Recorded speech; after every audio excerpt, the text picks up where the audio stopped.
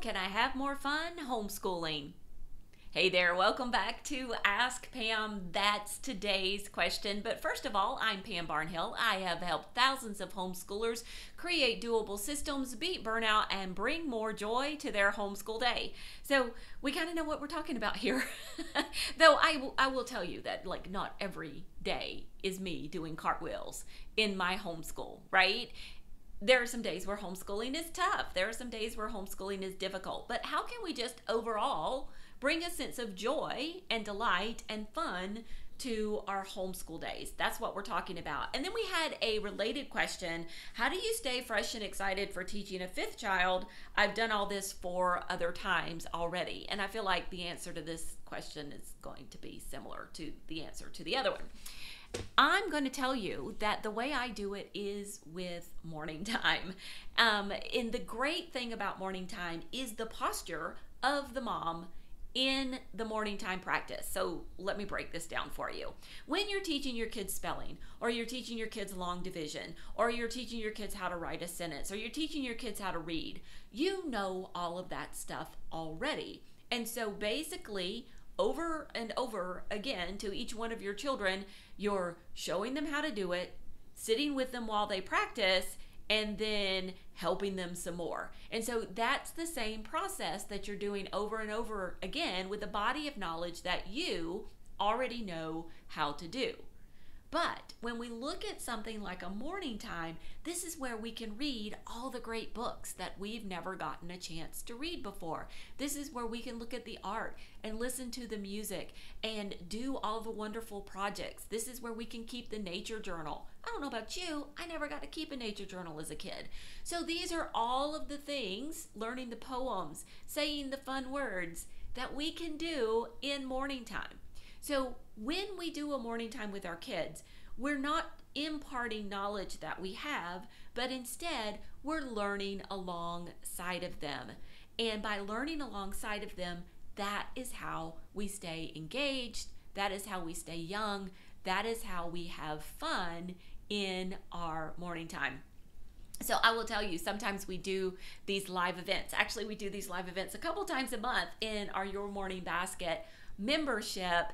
And not too long ago, we were doing one where we were writing a sonnet. And about part of the way through the event, I realized I think these moms are the ones writing the sonnets here. I'm not so sure that the answers that they're typing in the chat box so quickly are necessarily coming from the kids. I think the moms are writing the sonnet. And you know what? That was totally okay because these moms were having so much fun trying to write a sonnet. And I think there is something really fabulous about you as the homeschooling parent enjoying what you're doing, enjoying learning new things. And the reason for this is because it does keep you from burning out. It does keep you excited about homeschooling, but also it allows you to model for your children what it's like to be a lifelong learner. This is something, this is a phrase that's thrown around a lot. Oh, I just want my kid to be a lifelong learner. I want them to enjoy learning into the future. And so, my question for you is how are you modeling that for them? How are you showing them what it's like to be a lifelong learner? How are you showing them that there is joy to be found in learning after you have left school. We've actually been joking with my daughter. She's newly graduated this summer, and we went on a trip not too long ago to Virginia. And my husband's like, Oh, you could like make this educational and then count it as school days. And I'm like, No, no, no. We can't because Olivia's with us and she's 18. She's not allowed to learn anything else.